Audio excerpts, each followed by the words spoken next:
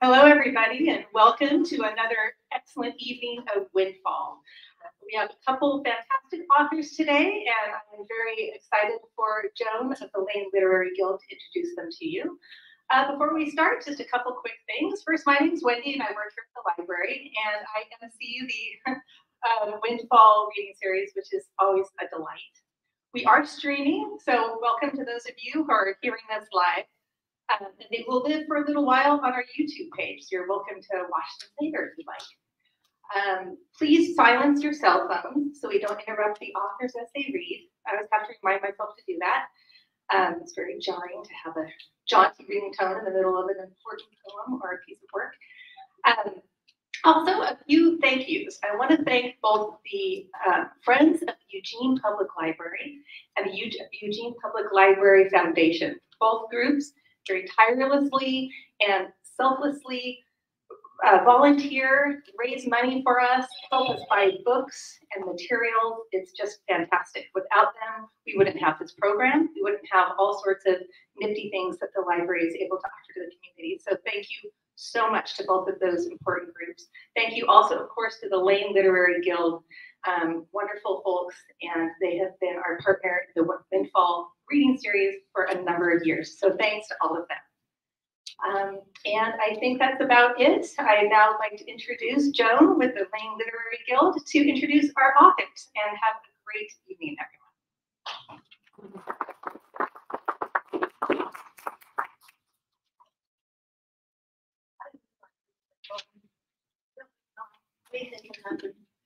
Anyway, I'm so glad you're all here, and it's really always exciting.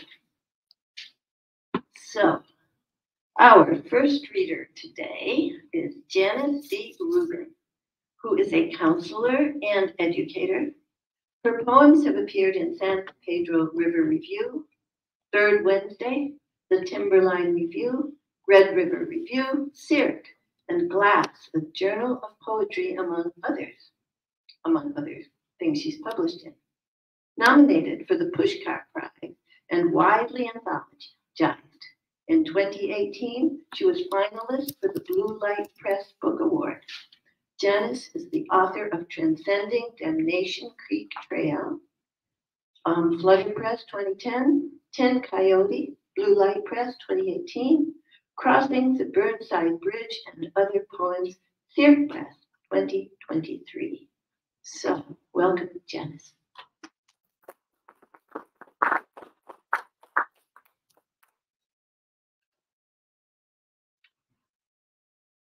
Thanks, Joan. Great to see everybody and uh, want to thank the, I think it's the Emerald Literary Guild now, just changed, uh, they just transformed into the Emerald Literary Guild and the Eugene Public Library. And thank you all for coming, uh, especially on uh, National Poetry Month, April.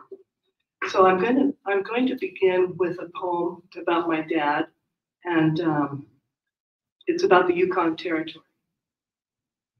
It's called Yellowknife.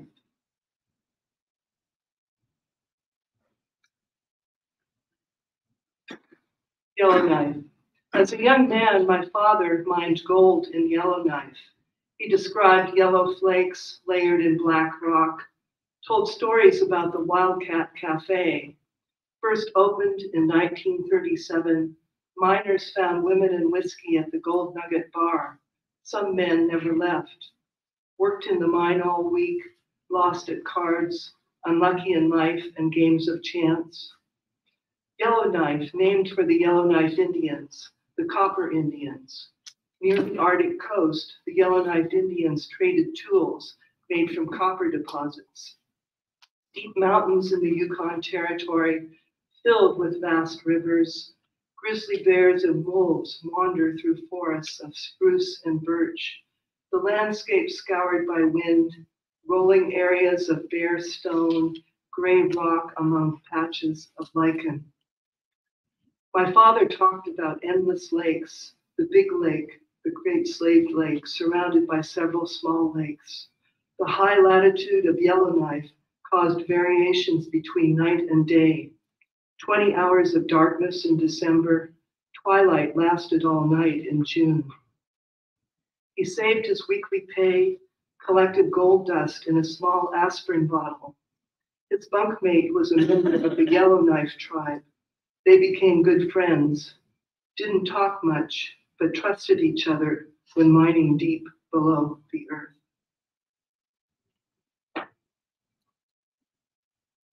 2020 was the celebration of 100 years since the 19th Amendment passed. And uh, so this poem is called Suffragettes March for Justice.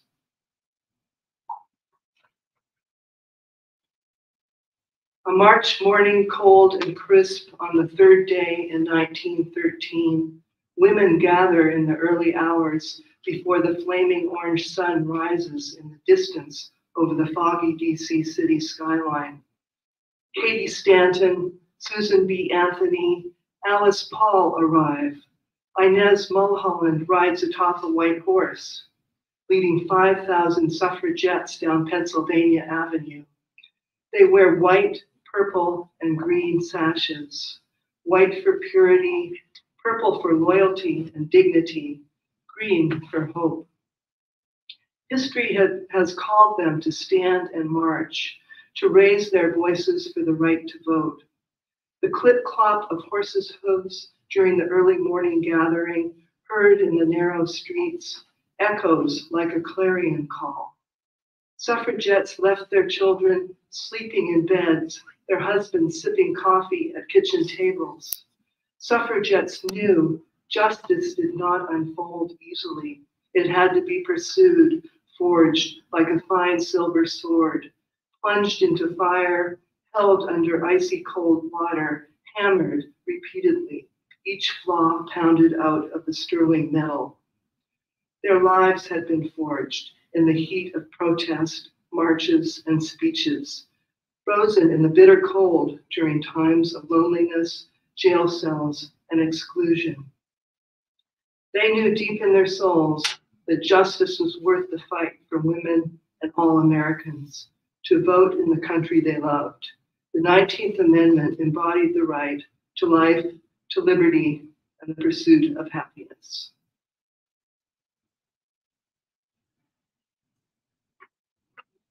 When, um, when I was a kid, I would go with my dad a lot to uh, Powell's bookstore. And we lived in Portland on a Saturday. And at that time, Powell's was just a very small place, wasn't the multi-block complex that it is today. But this, this poem is about Powell's.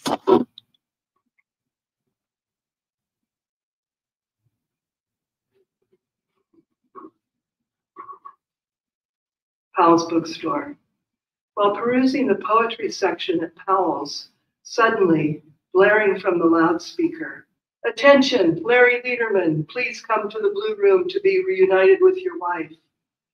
I imagine Larry Lederman picking up a book on happiness by the Dalai Lama or a copy of the spiritual writings of Rumi. I envision Larry Lederman leaning against a bookshelf, wandering through aisles and aisles of books to the biographies.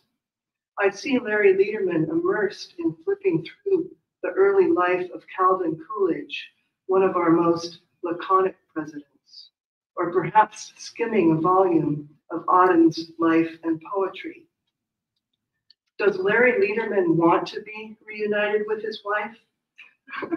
Maybe he's joyfully reading Jung's dreams in the Rose Room, or having a cup of coffee and a scone in the cafe with a copy of D.H. Lawrence.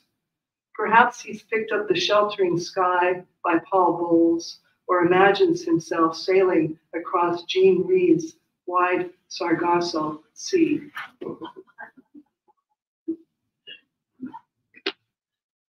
The next poem is a, um, it's a haibun, and some of you may be familiar with this form. It's a, a Japanese form, and it um, it's a begins with a prose section, and then um, it's complemented by a haiku at the end.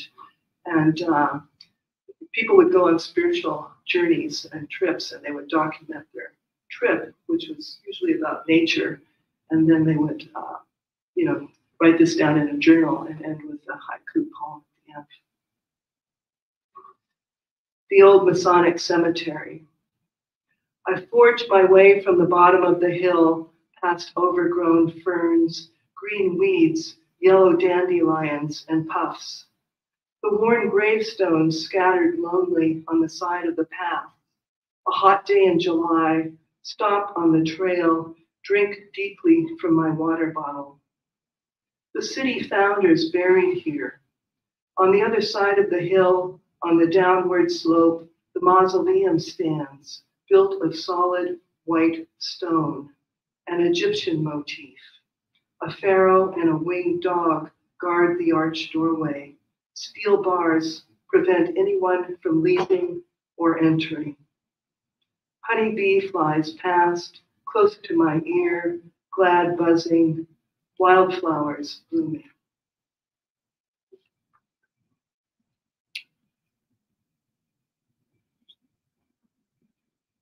The next poem is uh, Crossing the Burnside Bridge, which is the uh, title of my book, um, which was published by Cirque Press. And so I'm very uh, grateful to Cirque for publishing my book.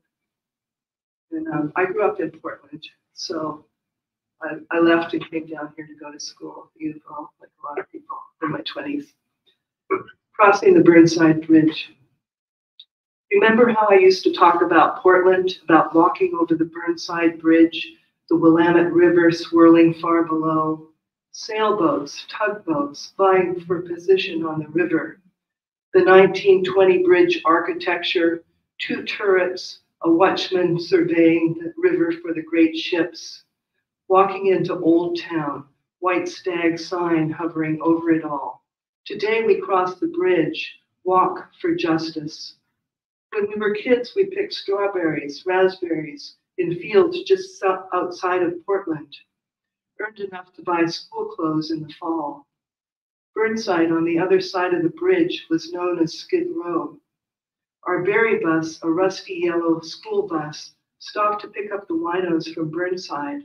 They picked berries alongside us. Their Tokay bottles lined the rows of strawberry fields. Pendleton Mill store windows displayed blue collar work clothes, heavy plaid shirts, red and yellow wool blankets adorned with teepees, solid leather work boots, all beckoned the day laborer. We walked west past St. Andre's Catholic Mission, past the dimly lit bars, dark dives, pink neon signs, Mary's Strip Club, the Paris Theater, hardcore porn shown all night long. We walked to Chinatown to Hung Far Lows, known for the best chop suey and Mai Tais, past the Jazz Opus, beanbag chairs, strong cheap drinks, Primo Jazz Club, past Powell's bookstore, titles in the window, a portrait of the artist as a young man, Our Lady of Flowers by Genet. A walk further up to Washington Park, a statue of Sacagawea pointed the way to the Lewis and Clark Trail. Now we cross the Burnside Bridge. We protest in the pulsing heat of 2020. Vibrant stars clamor, sway about the moon. To the east, seven mountain peaks cluster around Mount Hood. This burning August, we march for justice. We write, we sing, we dance. We claim the summer. It echoes over the Burnside Bridge through the streets and buildings of the Holy Night.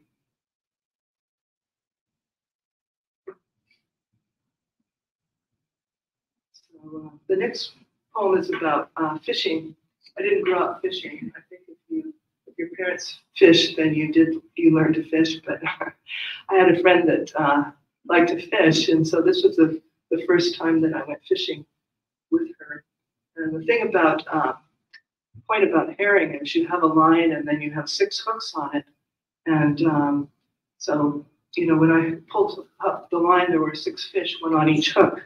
So I was thrilled. I thought this was a really great thing, and uh, for a while.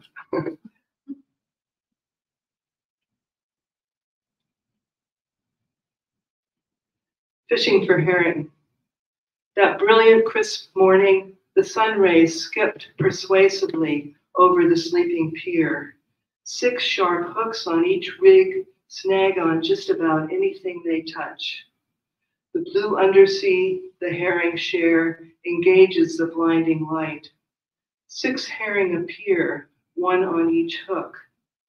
With a sudden exposure to open air, revealed and naked, they wriggle, wildly silver.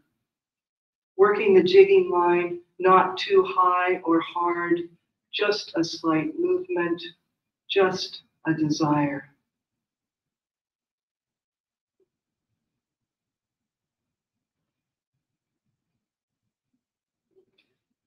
I was fortunate to uh, teach an intro to poetry writing class just across the street here at LCC through continuing ed for five years. So, so this poem is about that experience.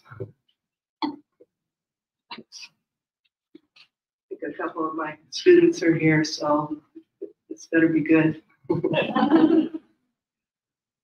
Poetry Writing 101.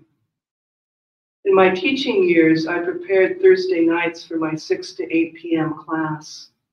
Traffic picked up in the streets, often stuck idling at the railroad tracks, waiting for the train to pass. Rain, clear sky as I approached the classroom, expectant students, eager, waiting. We began by sharing poems from poems they, from poets they especially like, who inspire them. Passions rise, the written word, promises, awakenings, mysteries. Intelligence, curiosity in their wild eyes, they expect wise words. I turn the discussion back to each student. The class unfolds, discourse begins. Students young at 20, one student in her 80s, a few teachers have signed up who want to learn to teach poetry. We study the villanelles of Dylan Thomas, the images of William Carlos Williams, the metaphors of Sylvia Plath. I entreat them to travel to the country of poetry, explore its rolling rivers, rocky deserts. They take a poem, ravish it like a hungry lover. At the Hong Kong restaurant after class, I sit alone, a back table, where I'm able to see the entire dining room. I order a cold glass of Chablis, a steaming plate of chicken chow yuck, hot oil on the side. The egg rolls with plum sauce arrive. While I wait for the main dish, I realize loss is a hallmark of identity. We don't have to reclaim everything. So a bit of a turn at the end there. That poem always makes me hungry for Chinese food. So this is, um, this is called Before the Wildfires. She wrote the phone number hastily on the palm of her hand, rode home hard and fast on her lucky bike. The number partially disappeared with the hot sweat of her palm. She dashed into the house, copied the number on a grocery receipt, Wind began to bang against the house, a warning that trees and power lines could be down in the coming days. Her lights flickered, the living room lost electricity. Under the last low light, she looked at the number again. She wanted to think about the phone number alone in the dark.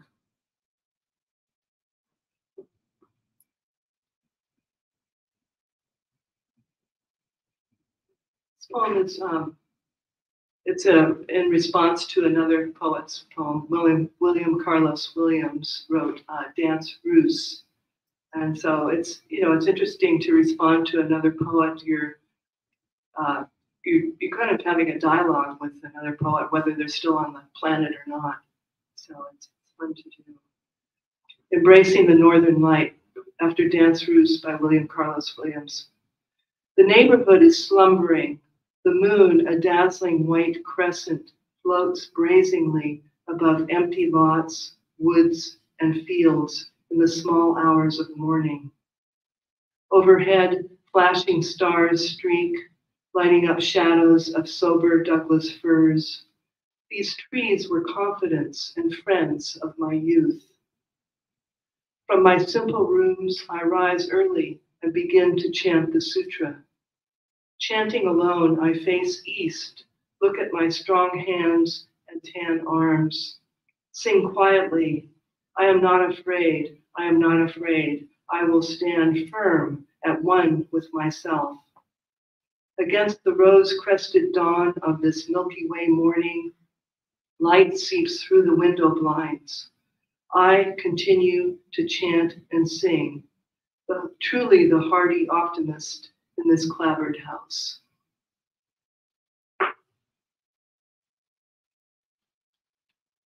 Um, I've been fascinated by, by trains and railroad stations for a while, and so the next two poems are about trains, starting with um, Portland Rail Yard.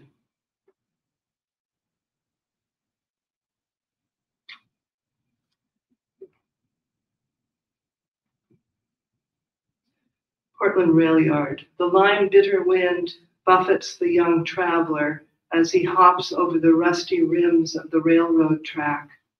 Cobwebs in the freight car shimmer like constellations surging in the noir night, bandied about by gusts and breezes. The next morning, a flaming sun springs along the horizon, reflecting on yellow fields and more green fields beyond, red clay woven into the hard railroad ground. Houses, signposts, roads flash by swiftly like images in a film clip. A flock of blackbirds rest in a copse near a thicket of small tree shoots. The traveler grabs his knapsack, jumps off the freight train, rolls into a lush maze of corn, chasing a dream. Fields throw off tender light.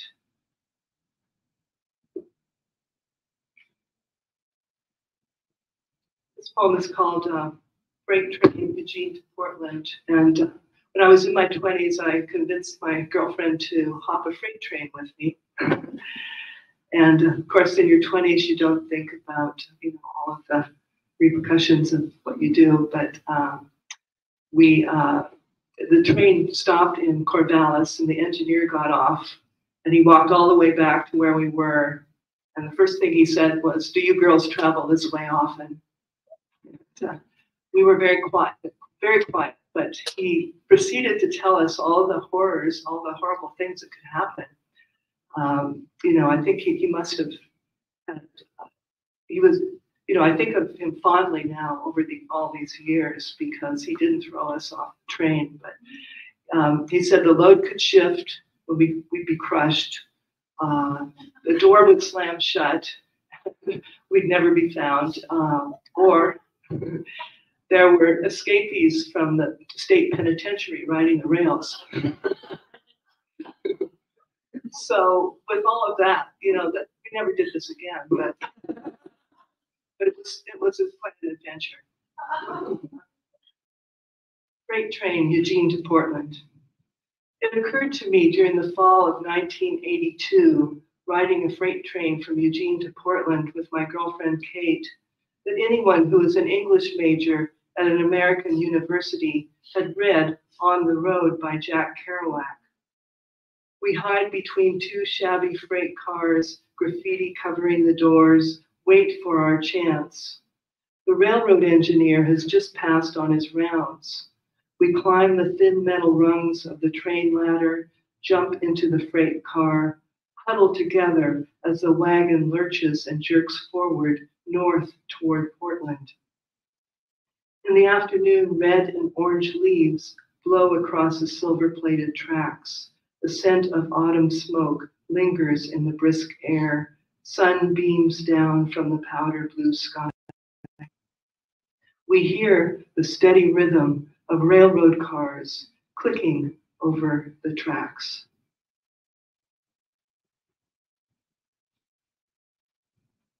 Okay, so um, I have two more poems. The first one is called uh, France, France in September.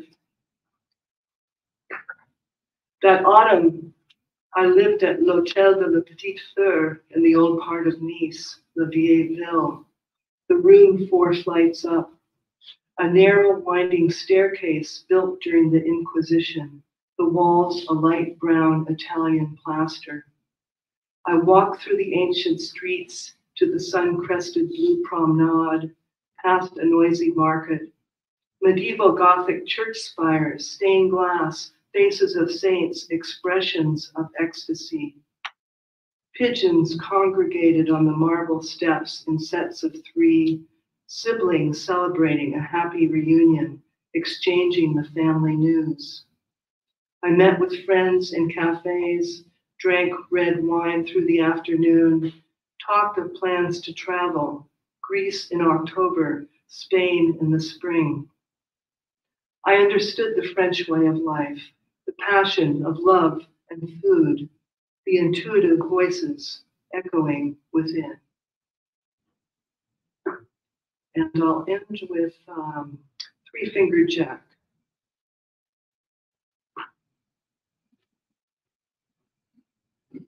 The day we hiked Three Fingered Jack, I was 20, you were 18. The slopes beneath the rocky base wind burned. The trail rose steeply to an open moraine, then to a lofty point. We reached the ridge top, the alpine range, in the distance, the Three Sisters. Above Jack's summit, we rested on the soaring rocky incline. Bare grass grew below, tall feathers sprang from an indigo lake. Sheets of lava, igneous rock in our way, the crest of crags surrounded an abraded cone, an uneven volcano, crimson with ebony bands. When the sun moved below the horizon, we were still high above on the trail. Our breath and words appeared like clouds. Snow rested on ground cover. The trail twisted and turned. Chilled with fear, we peered into Jack's flinty face. Along the narrow path, we inched our way through semi darkness to the meadow below. The year's low snowpack had moved the peak bloom forward. With joy, we gazed at the meadow. Huckleberry, vanilla leaf, snowbrush, and salmonberry bloomed early. Thank you.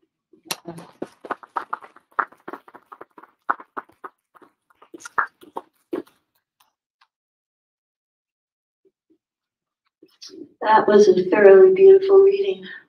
Thank you, Janice.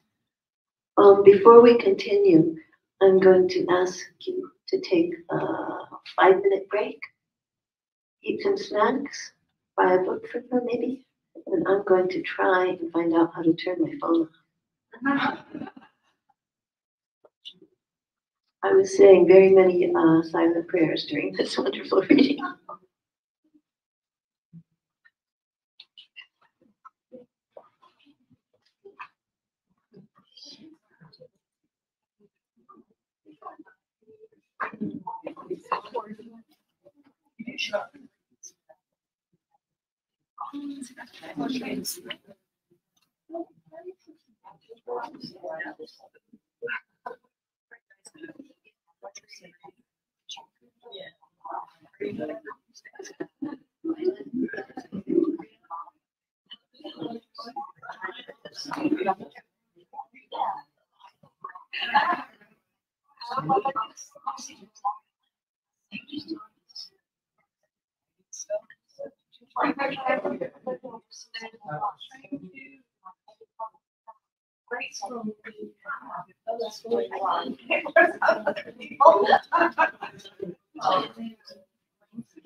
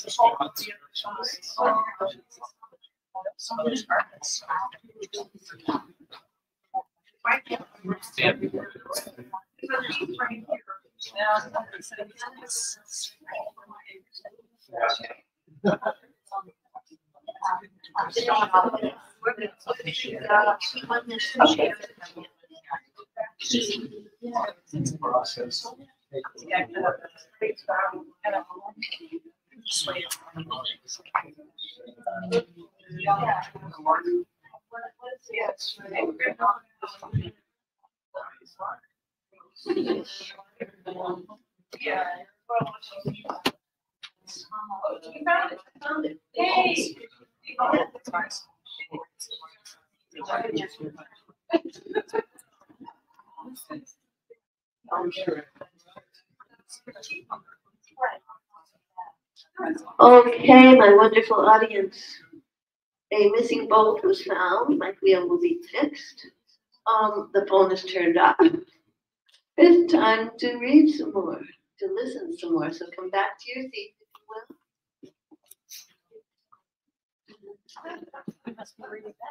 There'll be another break at the end. This was just an accidental emergency break. Because I was so nervous the whole reading that something terrible would happen. You know, that the um, phone would start ringing and screaming its name. So, um, prepare yourself for another wonderful read here. And our next reader, uh-oh, wait till Roger's off the phone. So, Okay. Okay, everyone's ready now? Sit down. Relax, open your ears.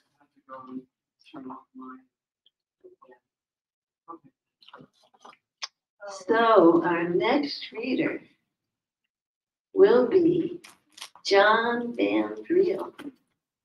Now, John uses his creative vision and accessible writing style to explore both the darker and the quirkier sides of human behavior.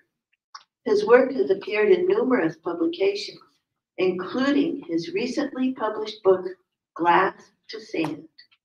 He is also the author of three books on violence prevention, an award-winning artist with work featured in collections throughout the Pacific Northwest, and a musician with lyrics and songs published on two LPs. He resided in Salem, Oregon. He resides now in Salem, Oregon, where he laments the loss of smoke-filled taverns and the disappearance of free downtown parking. Welcome, Johnny.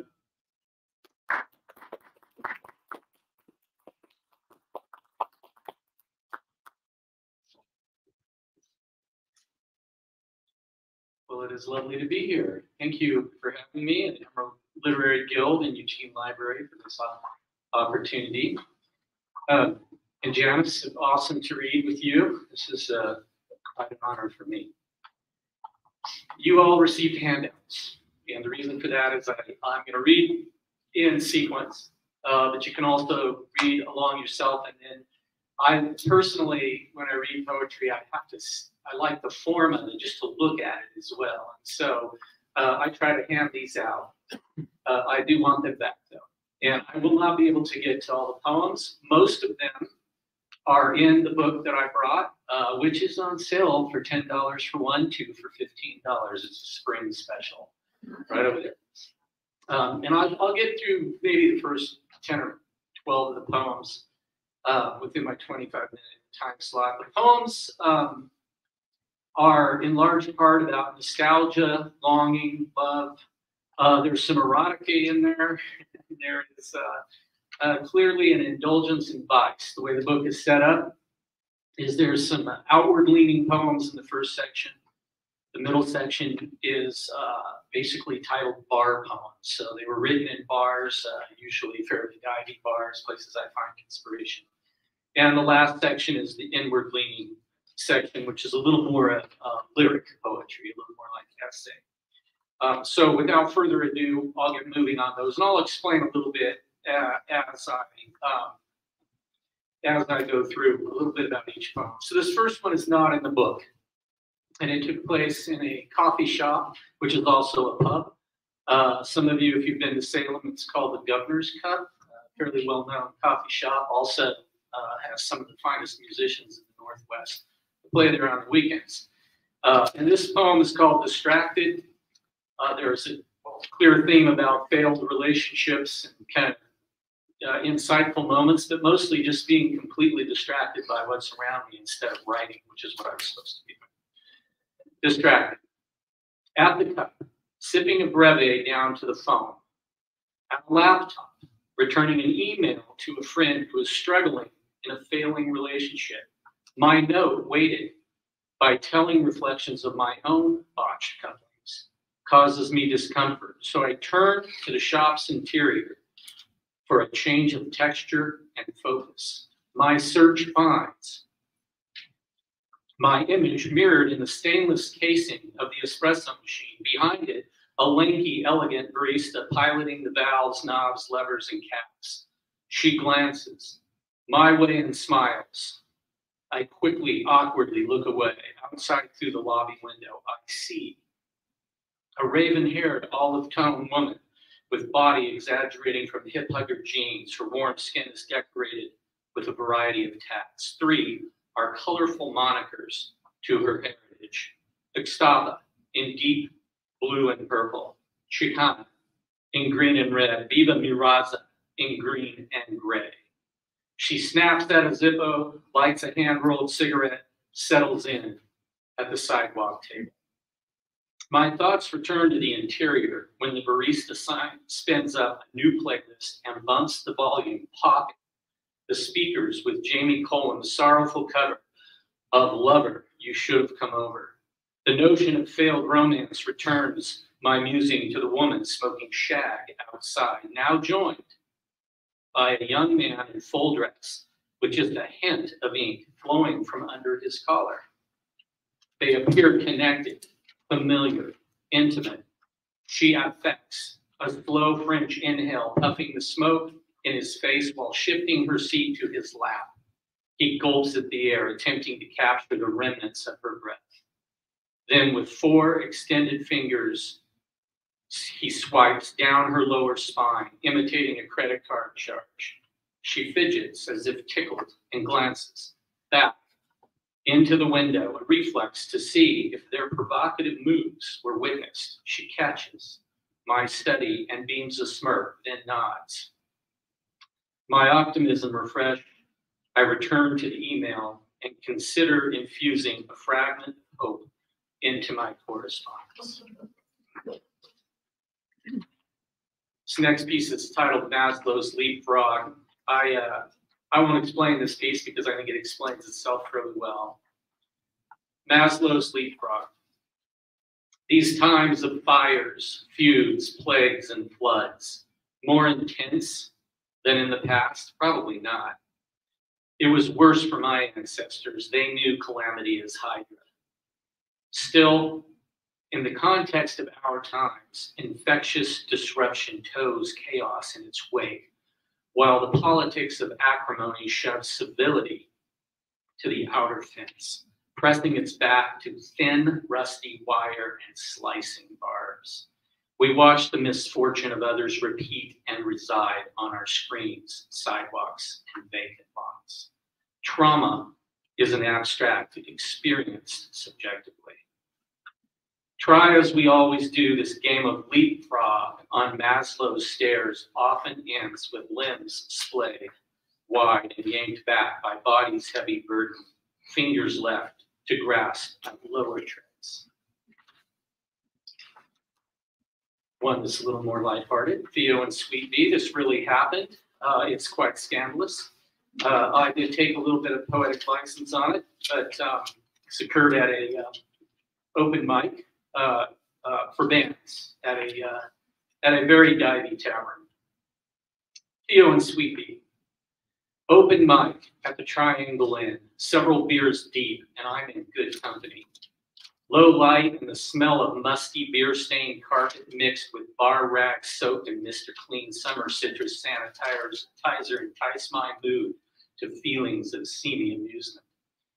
Watching the musicians as they watch each other, some eager, some nervous, a few affecting indifference. To the left of the slots, close enough for the assortment of screen lights to tint his pale middle-aged skin, Theo sits with his lady. He's a regular, she's not. They speak to each other with side glances and slightly tilted, slightly turned heads. Her face holds a curious but unimpressed expression as she takes in the texture and sights within her boyfriend's lair. They watch the performers. Theo also eyes the door.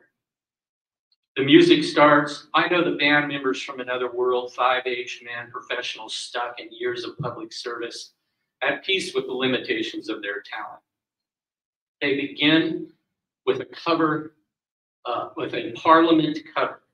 Folks stop talking and sing along. Make my funk the P funk. I wants to get funked up. Sweet Bee enters the side door carrying her guitar case, covered in, covered in stickers that announce her allegiance to rock bands, music venues, and foreign travel. Steps past me, sits at the back of the bar, hoists the gear onto the adjacent stool. She has attended these open mics for months, but has never unsnapped the case or stood to play. Theo's lady touches his hand, smiles, and leaves with purse in hand. Theo inhales deeply, juts his jaw forward, revealing his lower teeth. Bee moves to Theo's table. They whisper. Their expressions suggest that they have something in common. Relatives, old friends, maybe colleagues. Next band up, Four women with pantomimed articulation. Their lyric highlights a sexual encounter with two Portuguese marathon runners. Theo stands and stretches, sets a 20 on the table, drifts out the door. Sweet Bee pays her tab, lifts her guitar case, saunters to the door, and steps through, surveying the parking. Dimly lit by pale yellow mercury vapor of antiquated lamps, she focuses on something beyond my vision. I'm ready to move on as the band touches off a Dylan cover. It's bad form to leave during Tom Thumb's blues, but I do, slipping out a side exit. In the parking lot, I catch two silhouettes, Bee and Theo, in a car. There's fumbling, then slow movement. Fogged windows. My assumption, well, you know, then again, it is cold and they could be smoking some boo. I'm puzzled. What does BO have? What does Bee have in that guitar case?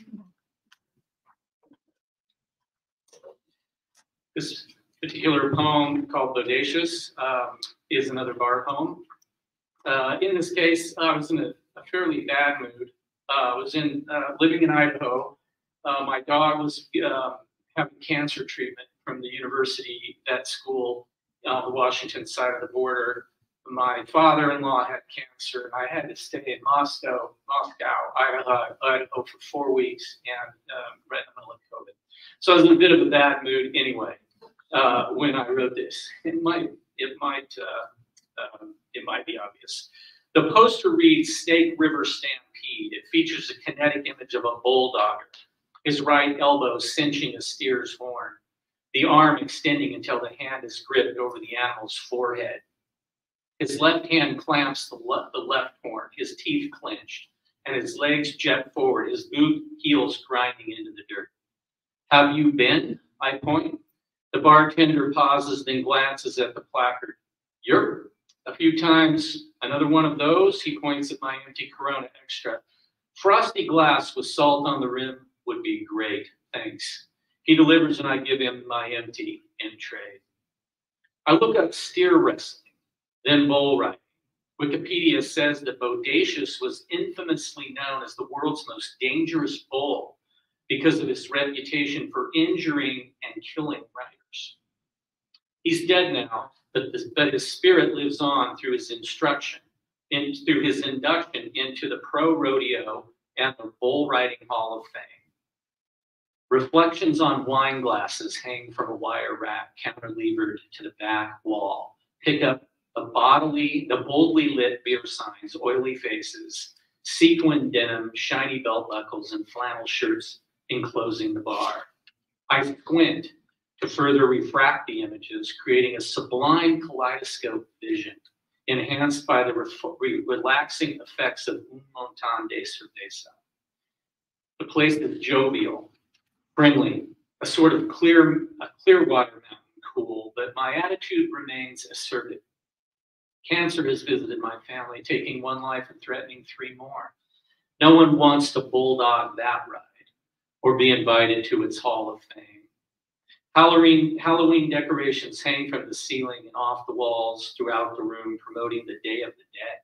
I'm already wearing my costume called Civility, and I encourage the spirits of the deceased to visit just for a few minutes. I want to speak with the bull and the bulldogger about that last ride. I grab my bottle and I head out to the smoker's porch where I bum a Pall Mall non-filter and a light. Avoiding talk, I suck the fume down deep into my lungs, then carefully tongue it out through my mouth in distinct puffed balls, snorting it back in through my nose, then exhale it again and repeat. A trick I learned years ago because it looked cool and made for a good party trick. Now I don't care how it looks. It has become an exercise that is soothing and distracting. I squint and look through the bottle at the porch party lights and the smokers. They appear entangled, swirling, ethereal.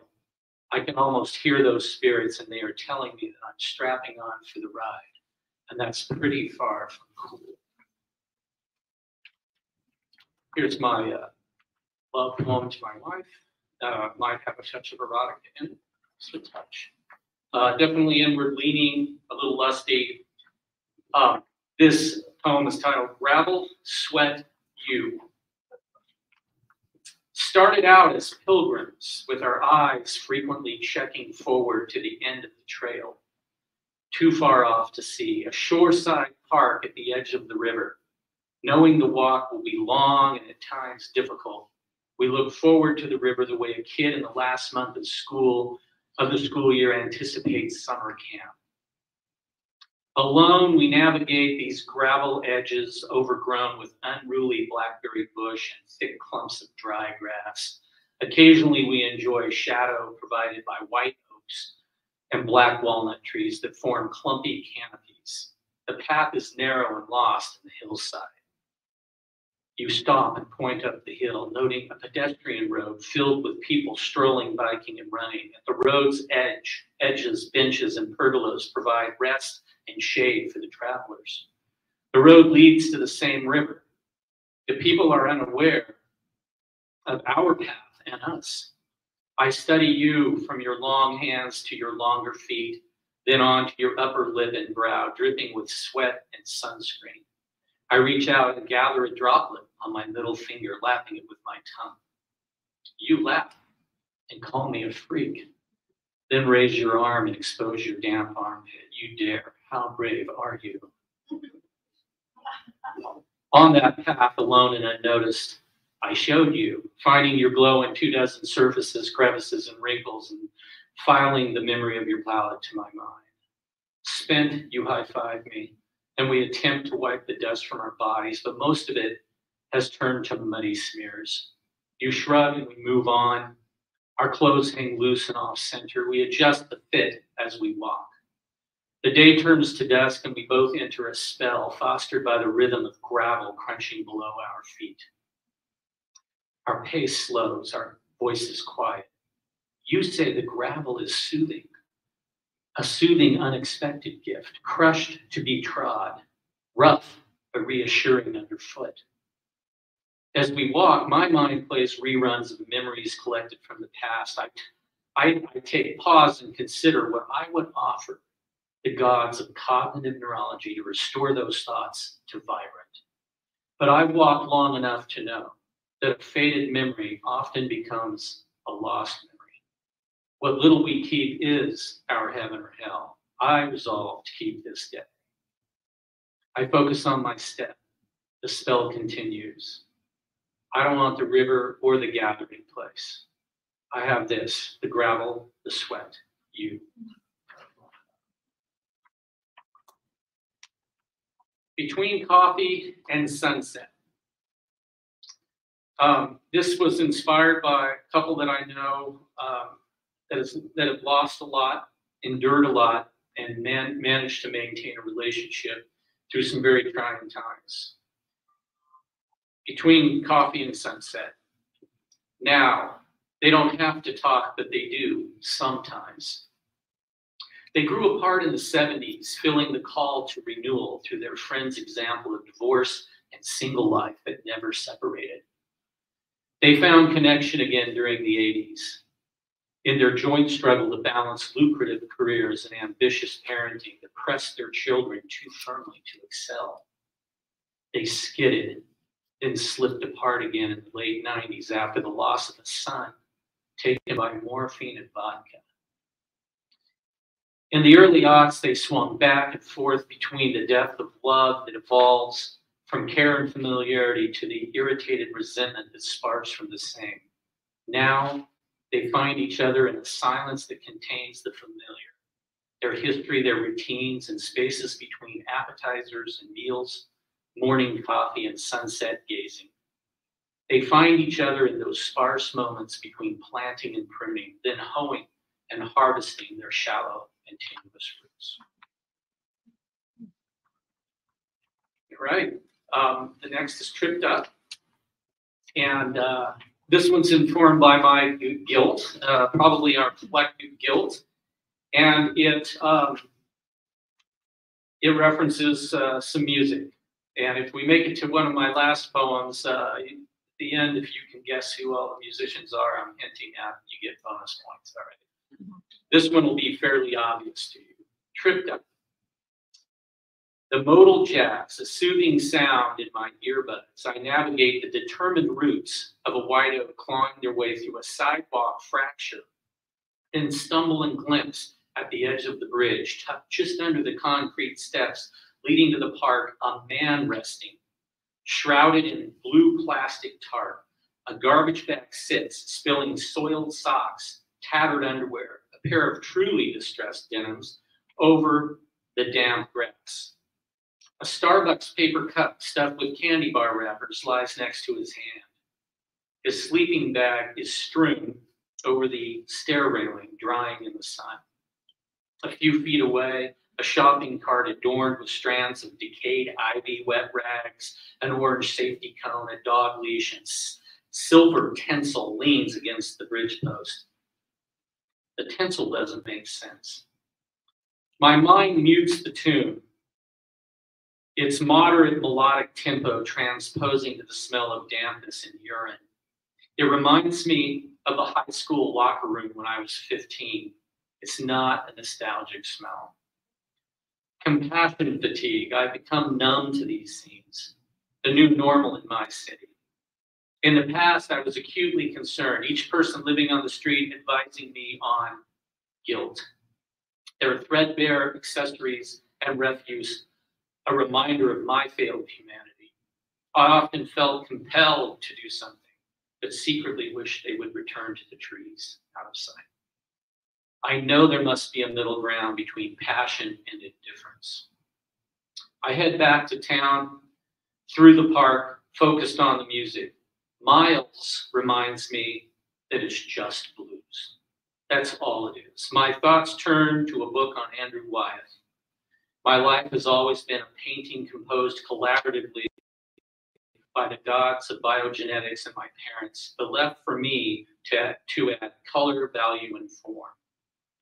Now my kids add glazes of translucent monochromatic tone, like thin colored slices of stained glass held over the entire canvas, each layer subtly unifying the whole. There is an awkward aesthetic, but so far it is working. It could have been different though, it could still be. I look back at the resting man, that's me in a different universe, that's any of us. Couple more. All right, um, back to love and lust. Uh, act two, scene two, borrowed from the Bard. Um, this is a an early curtain call poem, uh, but there is another chapter uh, which you will have to think of yourself at the end of this poem. This is about voyeurism, love, hope, and again a little bit of softcore erotica. Act two, scene two. We sat street side. The air was cooling, the day almost done. My Juliet ordered us another round, vodka and soda crisp with carbonation and muddled lime. Our conversation winding down, we enjoyed the ambient sounds of the city and browsed the rambling pedestrians. Across the street from a third floor balcony, a light switched on, shone into the evening.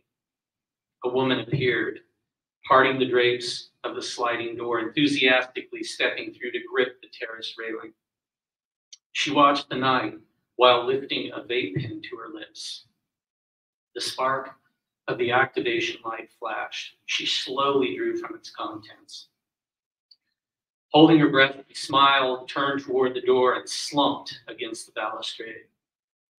A young man approached, shirtless and head lowered, his eyes fixed on her. The two embraced and slowly slipped their lips together. She exhaled the vapor into his mouth. His torso swelled as it took the drug deep into his chest. Her arms rose to his shoulders. He pulled her toward the interior, both disappearing as the remnants of steam dissolved in the air behind them. We continued our watch, blushing, hoping they would return, but within seconds the room's interior dimmed to a glow. Drapes caught a slight breeze and danced unhurriedly against the rigid sides of the door case. And I think uh, I have room for about one more. Okay. Let's um, let's keep it light, and uh, we'll do Twister. All right. We're going to jump ahead to uh, Twister.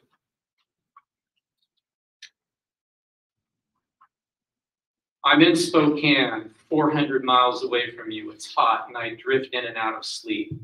My dreams turn to half awake imaginings. This one sticks with me. We're new to our relationships, and I've risked writing a poem about you. You smile and ask, after you read me the poem, can we play that Twister? I sustain a sigh until my lungs, my lungs are empty. Follow it with a quick breath. It's just a draft. Remember that. You nod, I fully inhale in the sight. Fingers interlocked in a fleshy zipper, ankles twined, she reclines. Eyelids cover cerulean pools as she blinks in slight exaggeration to express her point. All while she turns and tips her brow my way a quick stare. Sometimes a turned up corner of her otherwise temperate mouth, a grin, sometimes not always a slight blush. I pause, adjusting the effect and drinking it in. I still the glance just to save it for later. Again. Leaning back, I cocked my head to the side. I'm embarrassed. I question. Maybe a little sentimental. You stare. I can hear your deep breaths. Your play, you place your hand on you place your hand on your chest and rhetorically ask, "Too sentimental, my dear. It's perfect." And Johnny, you already had me in the bag. Now, well, I'm way in the bag. You shake your head to clear emotion or awkwardness, or maybe pause the impending kiss. Break out the Twister. I want to try. Right hand green, left foot red. I walk to the closet to dust off the goods and look back to catch you smelling each of your armpits in turn. You shrug and say something to yourself that I cannot hear. I return and display the mat on the floor. You slide the shoulder dress off your sundress down slightly, restraining your arms, and slip your sandals off, kicking them to the side. Thank you. It's been wonderful being here.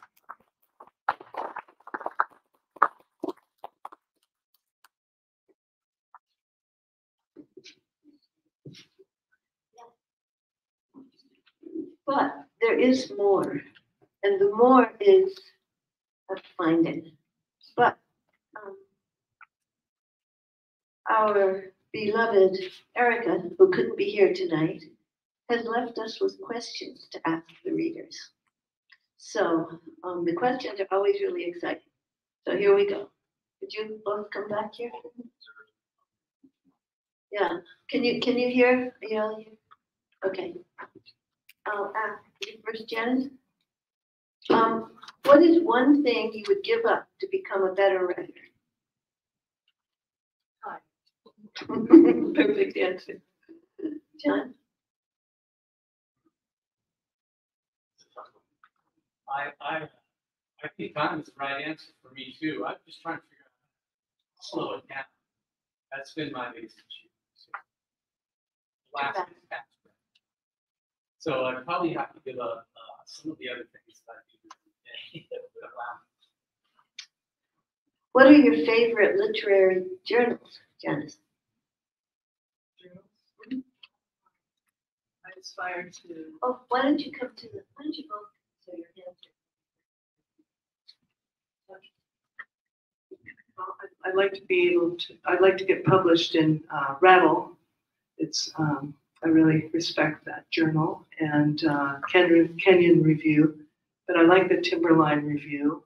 I have a poem that was published in, in that journal. And uh, San Pedro Review. I mean, there's so many good journals out there. A lot. Cirque is one of my favorites. They published a book.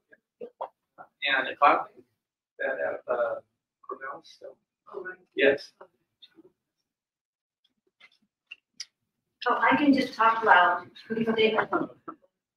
What is your favorite childhood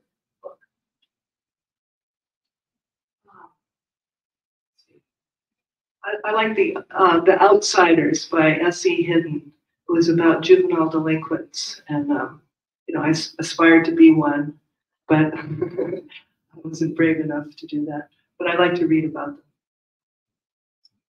uh, I was probably a character in that book. Uh, I, uh, the most probably inspiring book I read as a kid, which turned me into a reader, was uh, James Fenimore Cooper's Last of the Mohicans. What is the most difficult part of your artistic?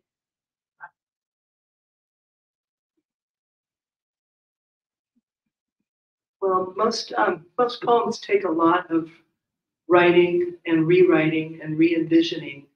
So, you know, you, you get the, some of the impressions down on paper, and then it's, it's like sculpting. You remove certain words and then you add others, and so it, it takes, it takes a while. Um, I really enjoy it once I get into it, but I think that's the most challenging part, is just the rewriting. Uh, definitely the subtraction because I don't want to give up some of those beautiful words that I know shouldn't be there, right? So uh, it's it's giving in to that process to admit to yourself that this phrase is not needed. But I do say it on another piece of paper. to use it I can't give it. It's not going to be a problem. Janice, does your family support your career? Right. Yes, yes, they do. Um, my parents are gone now, but uh, I have um, two nieces and a nephew, and uh, I have great, great nephews and nieces, and my my two sisters. I'm the oldest of three sisters, so both my sisters are very supportive of my work. And I've read in Portland a couple times, and everybody shows up. So it's fun to see family in the in the audience. Yes, no, I, I was fortunate enough to have four great parents, not just two, and they were all very supportive, but very different. Um, my father is an artist, uh, my stepmother's a writer, my mother is was a counselor, and my stepdad was an administrator in, at Cal State Bakersfield, very business minded. So they all approached uh, me from different perspectives. Uh, from my father saying, "Hey, just do whatever you want." My mom saying, "Have a backup plan," and my stepdad saying, "How much money are you going to make? Just show me you're going to make some money doing this." Right, this is a long part. If you had to do something different as a child or teenager to become a better writer, what would you do?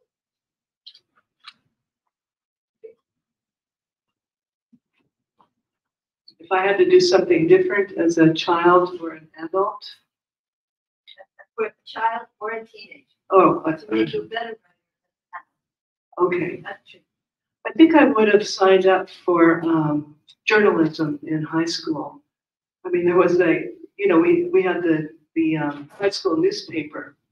And I thought about it, but I, I didn't do it. And I would have taken a typing class. I avoided that because I, I didn't want to become a secretary. Um, so typing and taking a journalism class in high school. Well, I would have taken more writing classes for sure because I didn't do that until I was in college. I just took what I had to in high school so I could get out of there as quickly as possible. I also uh, would have learned music when I was a kid, and I, I played piano for about three years from the time I was kindergarten to the third grade. Then I quit, um, and I took it back up in my late 40s. And what I found is, and I'm not a good musician, by the way. I play with the best musicians, and they just tolerate me. Uh, but I found that that music um, um, kind of cross pollinates with the writing and the painting that I do. Uh, and so the interesting thing about all this is that when I do one thing, like if I write, if I write in the morning, or I play music in the morning, and then I write it, then I paint, everything I do takes less time to get a reasonably good product because that part of the brain is already moving. And um, uh, I think people should be focused on one thing if they can to get really, really good at it. But adding more creative endeavors, and, and I certainly uh, I played football for two weeks, and it wrecked me. Uh, and I still pay for it today. I wouldn't play the sport. I mean, I played some tennis, but I would devote more time to doing that. To. Does that? Two more, only two Sure. more questions. Uh, Janice, how long on average does it take you to write a book? Well, that's, that's an interesting question. I think everybody is, is different in how long they take to write a book, but my first book came out in 2010, and then my second one was 2018, so that's eight years.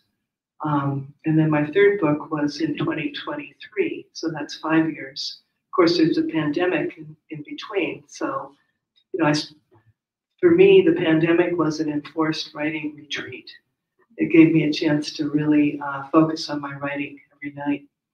Um, so I'd say on average, anywhere from five to eight years.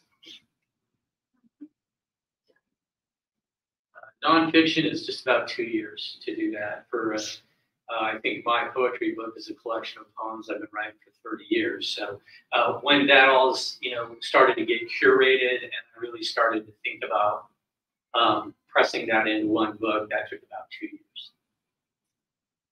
Last, thank you. Last question. Okay, back with you, Jen. Um, do you believe in writers? Um, Well, I, I know some people experience it, I never have, um, so I really don't believe in it. Um, But I, I think there's always things that a person can do to inspire themselves. Um, You know, I used to talk about in my class, even riding the bus from Eugene to Springfield is a total inspiration in terms of, of writing. There's so many things you could do, or just go out for a walk and you're inspired. Um, you can observe so much and, and document it and create a poem from it. So uh, fortunately, I haven't experienced writer's block. Well, I, I get stuck now and then. Um, I, I have a quick trick that I do. I grab a, one of those lines that I discarded from another poem. Sometimes I take uh, uh, one of my favorite poets' lines out of a poem and I start with that. Then I write into it. And that usually takes care of it. If I can, if I just get something in front of me that then I can start pushing around. And then I eliminate that first line. I make sure that's gone. Uh, that's, that's about what works for me. Thank you. And thank you all for being here. Don't leave yet because there are books to buy, there's food to eat, there's company to have. And whoever fixed my um, bicycle, Thank you so much.